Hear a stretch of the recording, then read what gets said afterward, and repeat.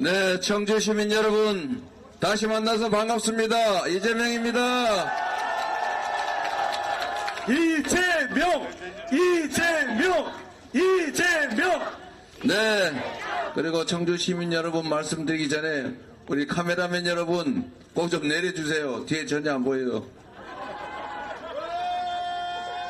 네, 우리 사실은 우리 취재 도와주셔서 감사드리고요. 앞에 그 영상 카메라도 조금만 낮춰주시고, 어, 그럼 저 뒤에 많이 보여서 좋습니다. 네. 확실히 보기가 좋죠? 네. 어, 가까이서 우리 말씀 한번 나눠봤으면 좋겠습니다.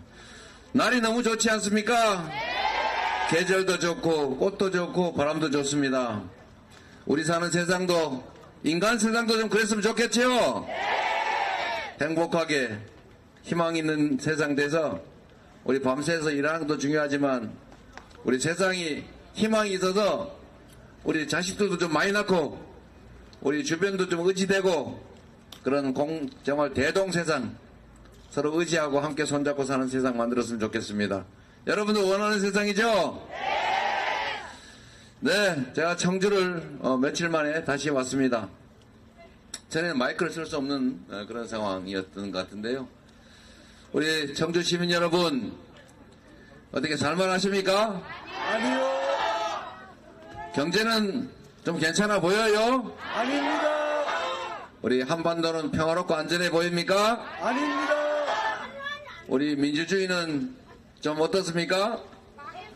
못 살겠습니다! 안 좋은 게 많군요. 이게 다 정치가 잘못돼서 그런 거죠. 우리 국민은 잘못이 없습니다.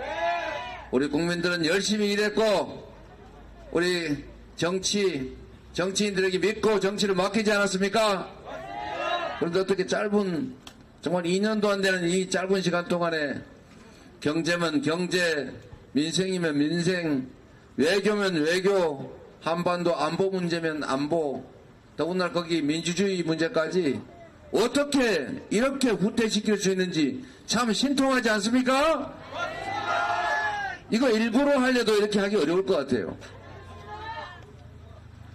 제가 오늘 참 해괴한 얘기를 들었는데 대파를 가지고 선, 선거 투표소 들어가면 안 된다 그랬대요. 대파가 어, 정치적 상징성이 있다고 한답니다.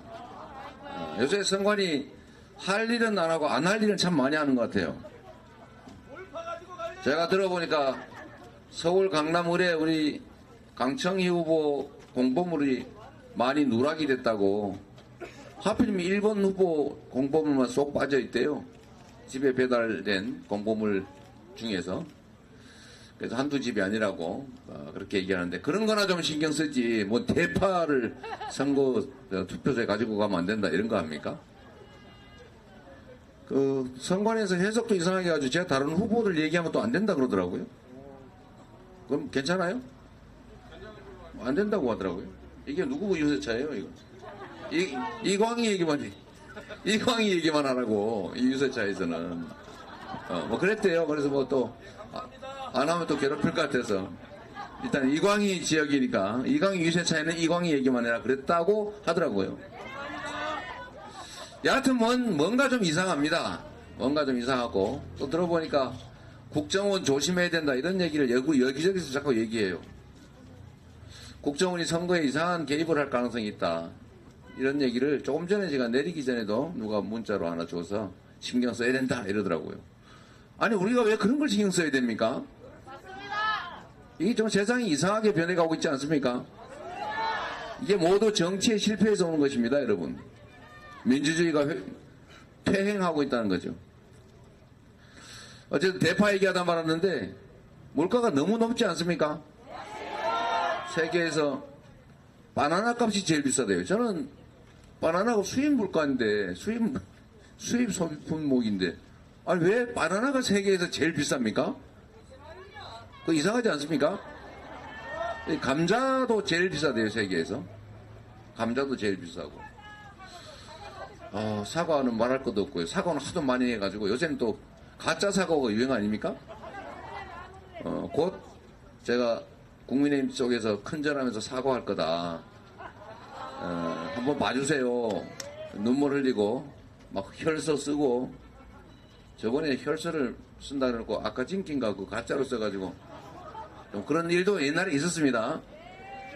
있어야 되는데 이번에도 역시 이 사과 얘기는 곧 또 열심히 할 것 같아요. 우리 국민들이 눈물이 좀 약하고 선량하다 보니까 그 속 가끔씩 속기도 합니다. 많이 속았죠 우리? 이번에는 속지 말아야 되겠죠? 우리가 눈물의 동정을 보이는 거 당연합니다. 사람이니까요. 그런데 그들은 이런 사람들의 선량한 감성마저 악용합니다. 우리가 눈물의 동정을 해야 되는데 눈물은 약자들의 눈물의 동정을 해야지. 악어의 눈물에 동정하면 되겠습니까?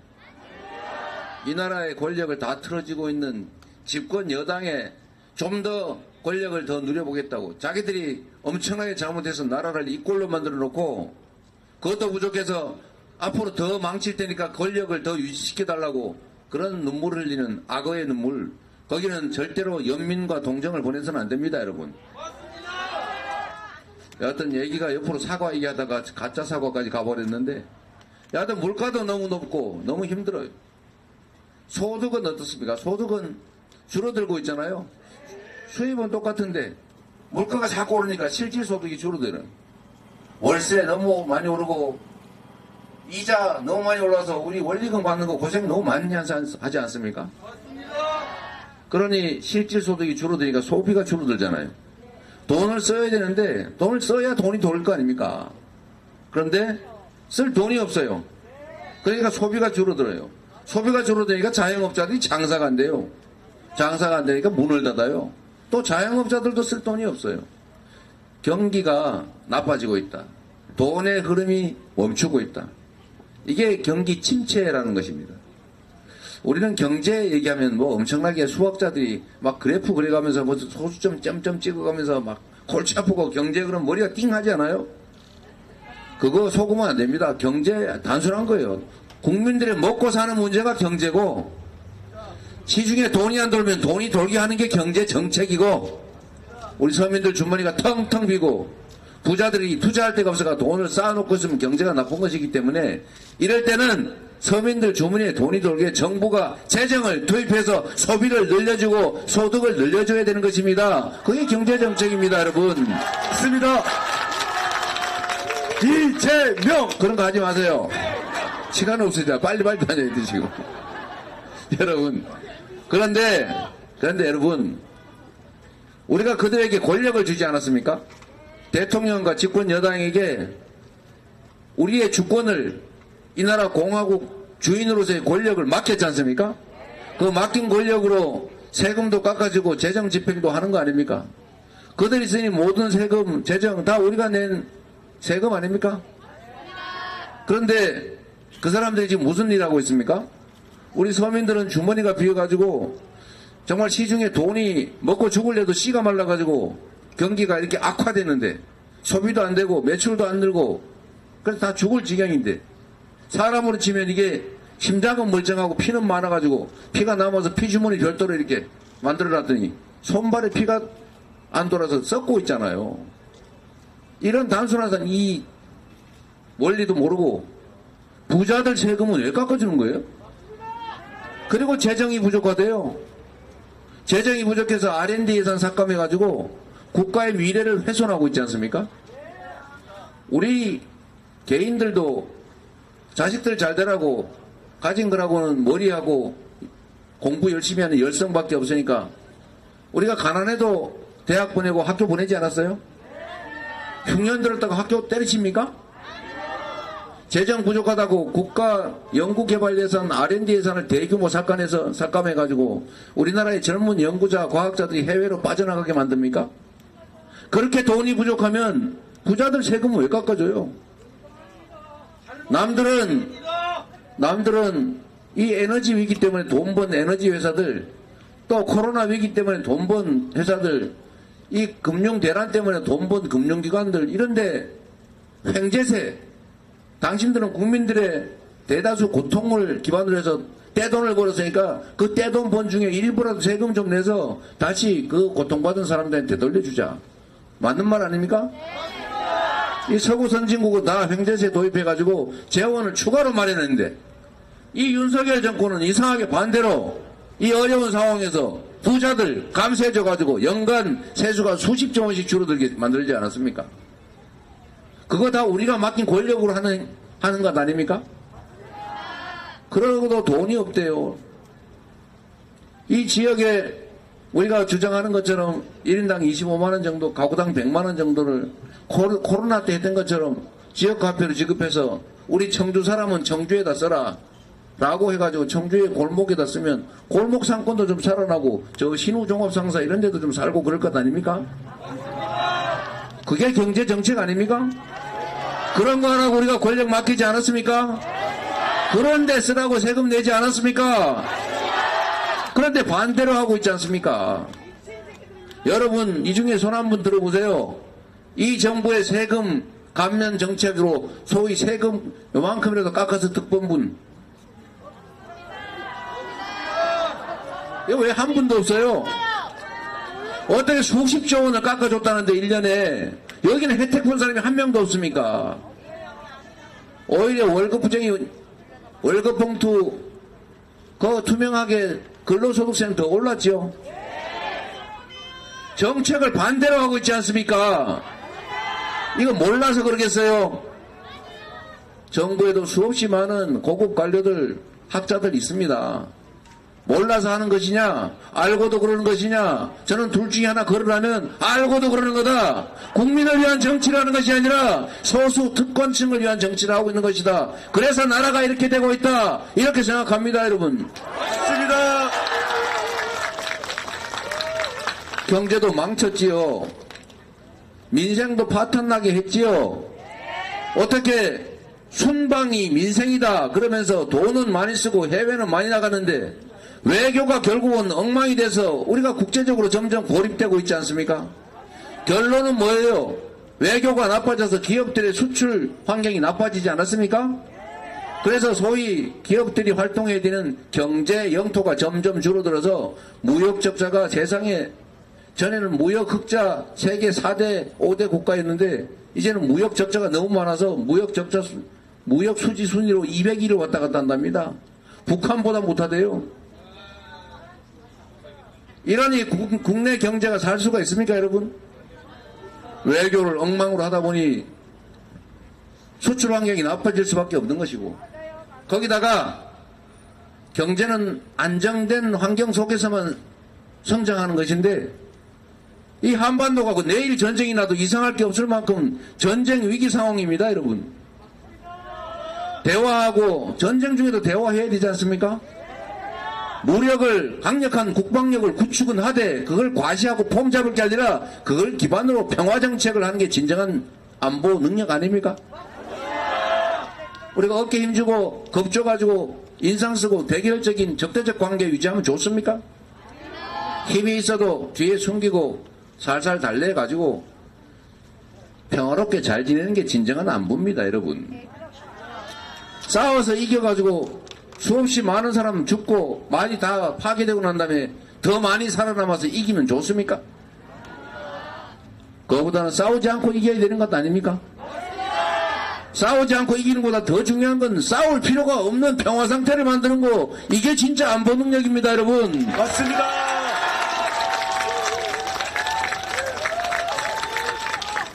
그런데 이 말폭탄에 온갖 외교적인 실책으로 한반도 안보가 위협을 받고 있어요. 내일 전쟁이 나도 이상할 게 없을 정도가 됐습니다. 미국에서 공식적으로 만약에 전쟁이 난다면 우크라이나 중동 다음에 전쟁이 벌어진다면 그건 곧 한반도다 이렇게 공식 경고하지 않습니까? 이러니 이런 위험한 한반도에 외국인 투자자가 투자하겠어요? 그러니까 경제가 나빠지죠. 주가가 떨어지죠. 여러분, 이런 온갖 실패, 실책에 대해서 국정 실패에 대해서 책임을 물어야 합니다.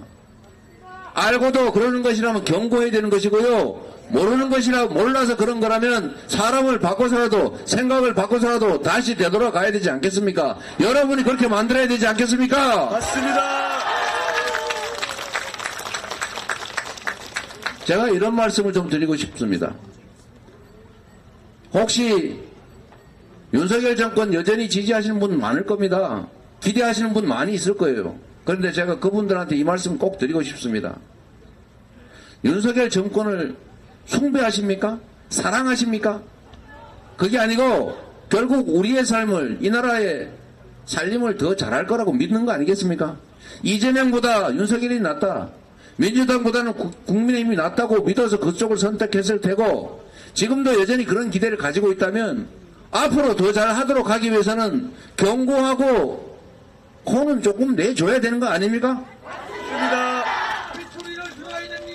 우리 자식들 좀 더 잘나게 세상 사람들하고 어울려서 잘 살게 하려면 나쁜 짓 할때 회초리도 들고 야단도 쳐야 되는 거 아닙니까? 잘못해도 옹냐 옹냐하고 실수해도 어 괜찮아 그러고 악의적으로 나쁜 짓을 해도 괜찮아 괜찮아 하면 진짜 악인 됩니다 여러분 사랑하면 훈계해야지요 윤석열 정권이 지금까지 2년 동안 잘했다. 우리 살만하다. 이렇게 계속 쭉 해도 된다. 이렇게 생각하면 몰라도 이건 아니야. 이 길은 아니야. 이렇게 가면 안 돼. 라고 생각을 하면 되돌아가도록 경고해야 합니다. 그게 이번 총선입니다, 여러분. 맞습니다.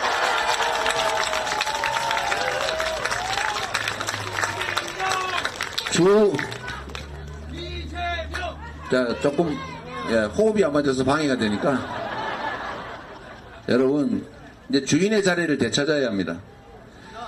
어, 제가 자주 말씀드리는데, 제가 두 가지 말씀만 더 드릴게요. 첫 번째는, 우리는 대한민국의 주인입니다.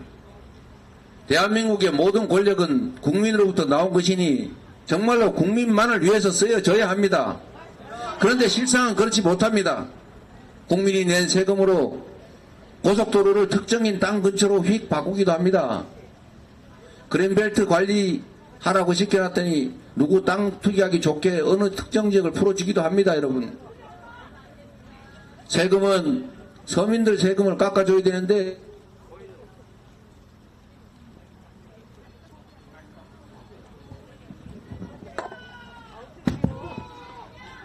서민들 세금을 깎아줘야 되는데 안 깎아줘도 잘 사는 특정 소수의 세금을 깎아줍니다.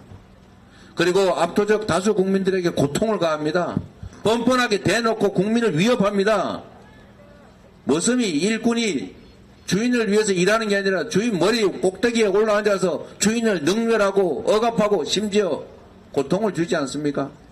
그러고도 이 권력이 살아남습니다. 희한하지 않습니까? 1인 1표의 민주공화국이라면서요.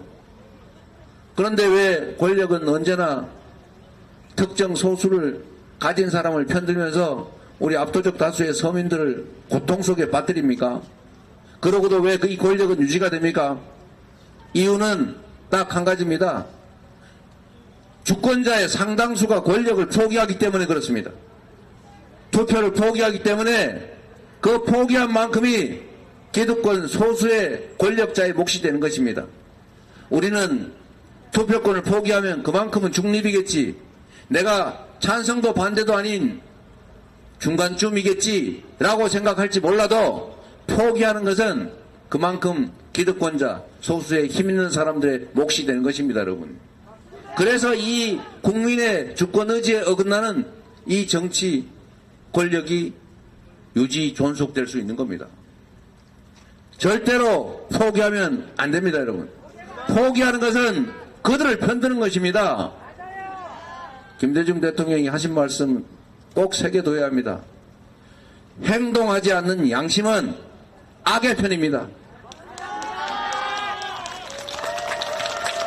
투표를 포기하는 것, 주권을 포기하는 것은 결국 그들을 편드는 것이고 내 운명을 포기하는 것과 같습니다.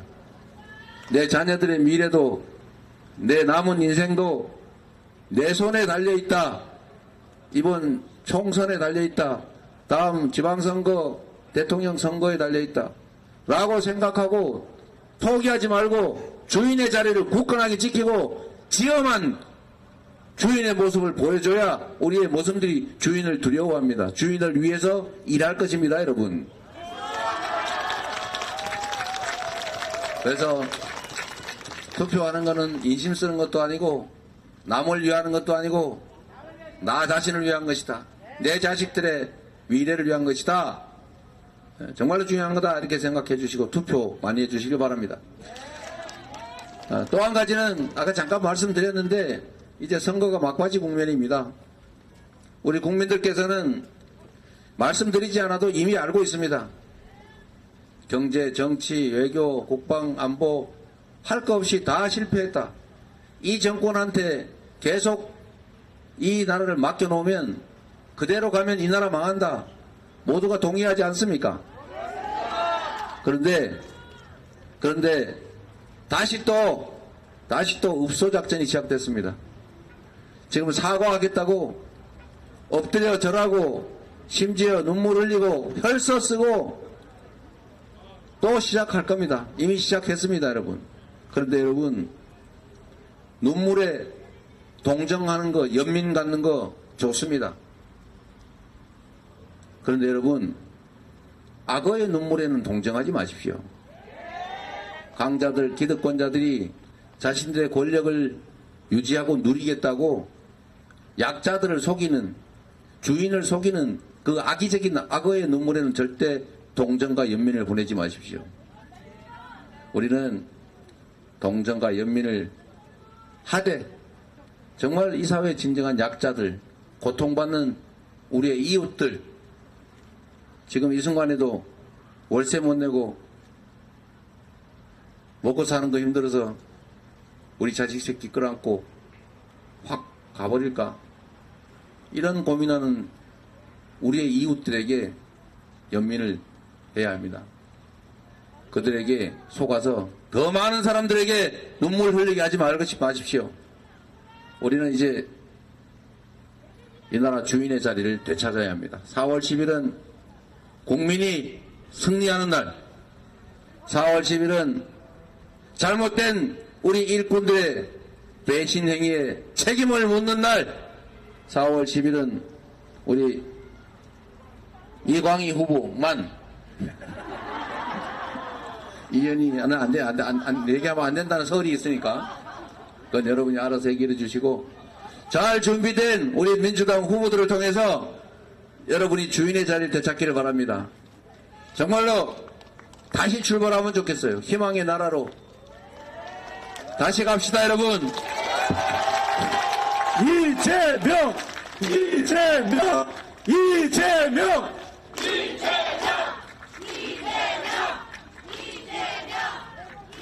정말 먹고 살자고 하는